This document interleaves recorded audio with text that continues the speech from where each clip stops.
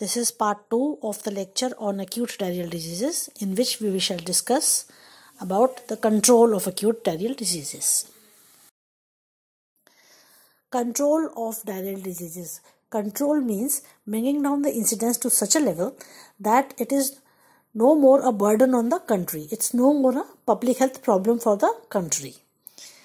So controlling diarrheal diseases has two components. One is short term and long term strategies. Short term strategy means appropriate management of the existing cases so that they recover fast and are onto their feet. Long term strategies include better maternal and child health care so as they are healthy enough not to get the episodes of diarrhea.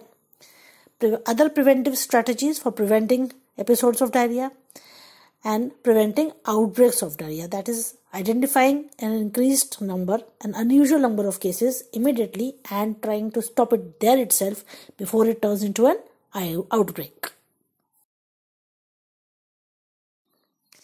Management of cases of diarrhea.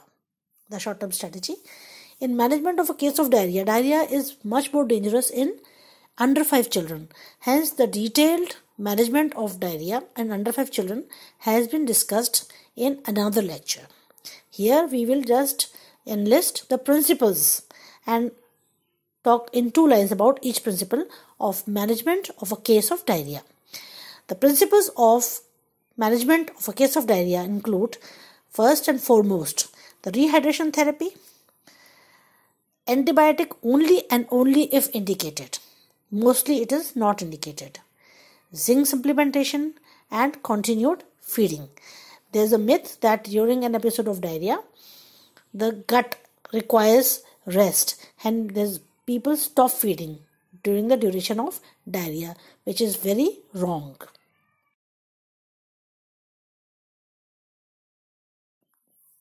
The first principle is rehydration. For that, we need to assess the status of hydration in the patient of diarrhea. So we assess the dehydration, the level of dehydration as per the table which is given below. We have to assess the patient and classify him into having severe dehydration, some dehydration or no dehydration. That is diarrhea with no dehydration. And appropriately we have to provide the rehydration therapy. Table says that classify as severe dehydration if two or more of the following signs are present. The signs which are listed in the column. If severe dehydration is present, then IV rehydration, that is intravenous replacement of fluids, is advocated. Some dehydration, if two or more signs are present, which are listed in the second cell. For this, we need to give fluids, which is mostly orally in the form of oral rehydration salt, continued feeding, and after rehydration in front of our eyes, we advise the mother to maintain that hydration at home. And finally, if you assess there is no dehydration, then give fluids and ORS to prevent any dehydration in future and advise the mother to prevent how to prevent dehydration in the child and the danger signs if they appear then she should report immediately to the doctor and then follow up after 5 days if there is no improvement in diarrhea.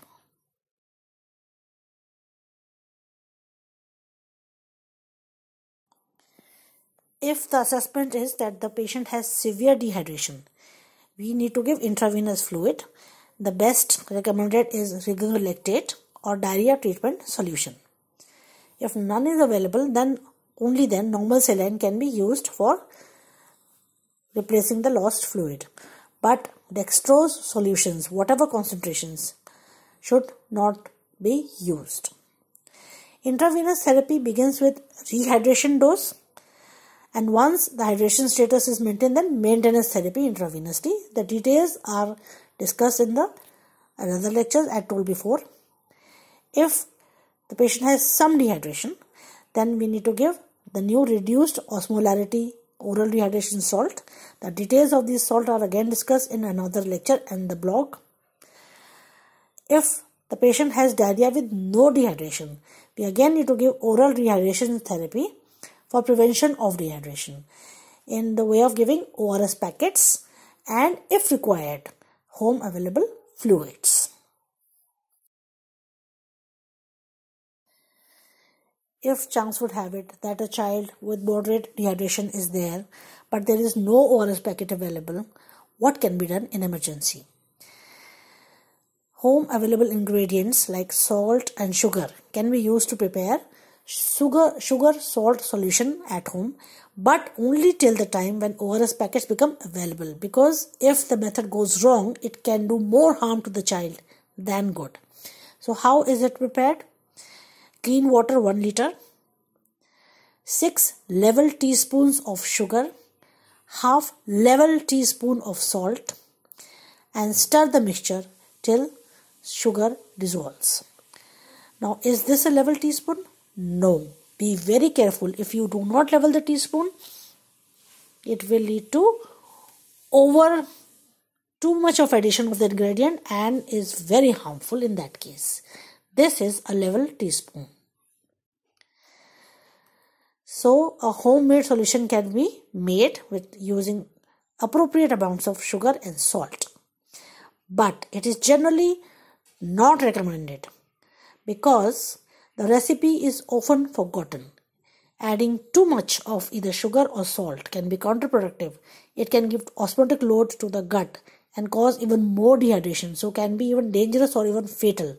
So we have to be very very careful as to not to add too much of any ingredient. The ingredient may not be available or too little may be given because the mother is at home. She may give one or two spoonfuls and may feel that she has done her work and now dehydration will not occur. So it is recommended not generally recommended only in emergency situation when no other ors packet or no other home available fluids are there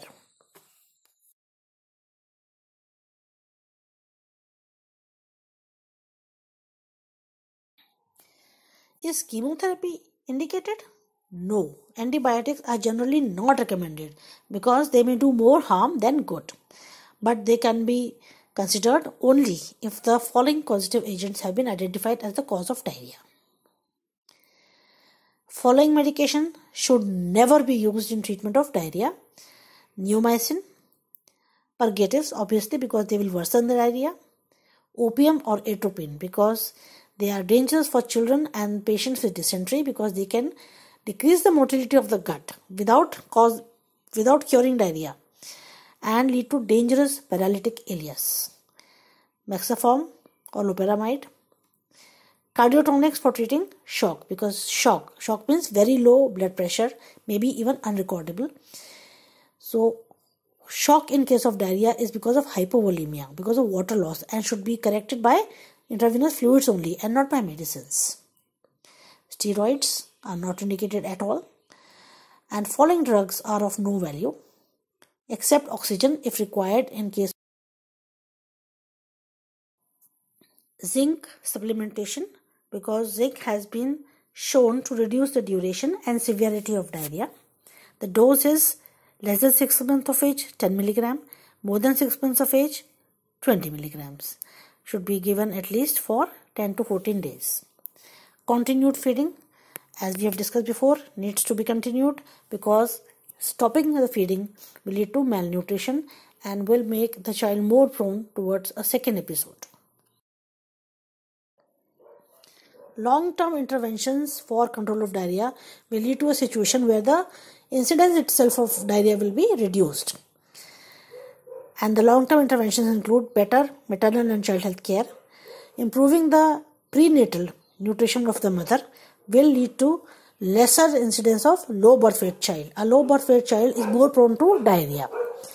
Then the breast milk produced by a well-fed mother will have a better quality, more nutritious. Improving the child nutrition by promotion of breastfeeding. Timely introduction of complementary feeding in adequate quantity.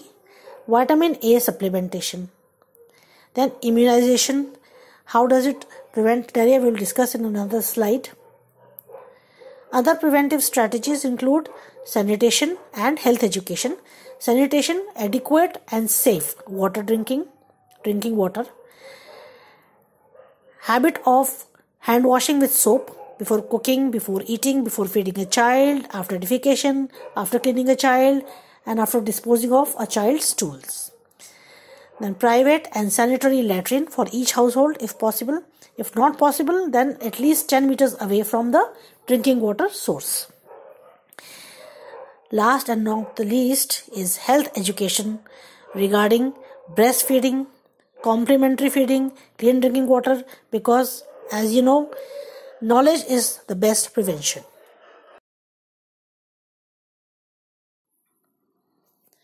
And finally, preventing outbreaks. Preventing outbreaks requires strengthening of epidemiological surveillance system which means keeping an eye on the incidence of diarrhea and recognizing early any unusual rise in the number of diarrheal cases and to act immediately so as to stop the outbreak from in the area itself and it does not become a larger outbreak. One such epidemiological surveillance system in India is integrated disease surveillance program where the number of cases of diarrhea are reported to the controlling authority regularly. Vaccines for prevention of diarrhea. One such vaccine which is directly against diarrhea is rotavirus vaccine. Oral cholera vaccine is cholera vaccine is another vaccine. Measles vaccine indirectly prevents measles. Why? Because measles is followed by a few frequently followed by diarrhea as a complication. So preventing measles will prevent the frequent complication as well.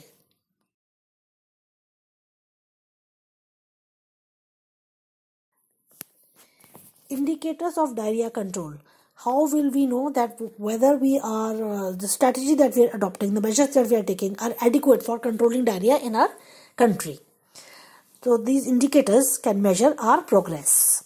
These indicators measure three aspects indicators of diarrhea prevention, indicators of diarrhea treatment, and indicators of oral rehydration therapy use. Indicators of diarrhea prevention includes the percentage of population which has access to improved drinking water sources. There is a definition for improved drinking water.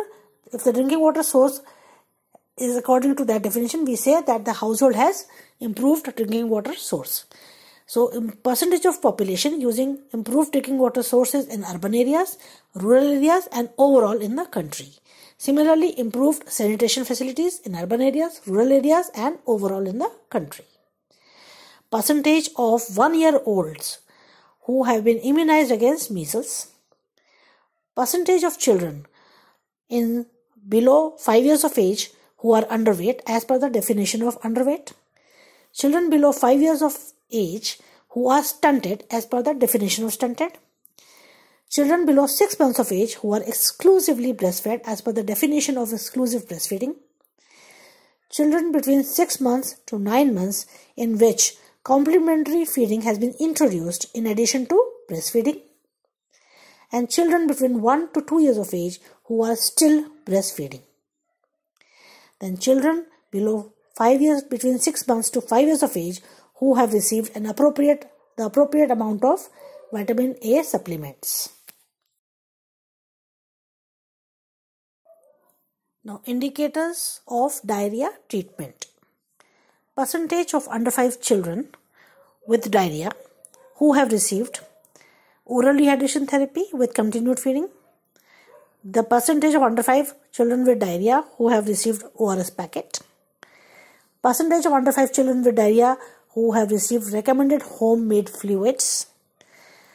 Percentage of under 5 children with diarrhea which were given increased amount of fluids and percentage of under 5 children who presented with diarrhea who were advised and given continued feeding during diarrhea. Indicators of oral rehydration therapy use.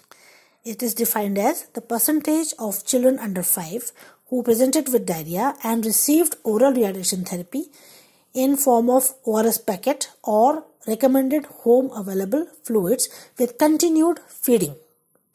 Gender wise, residence wise, that is urban areas, rural areas, and wealth index quintile wise, which means if you divide the entire population into four quintiles, lower 25 percentile according to wealth, second quintile, middle that is the third quintile and the richest 25%, the highest quintile.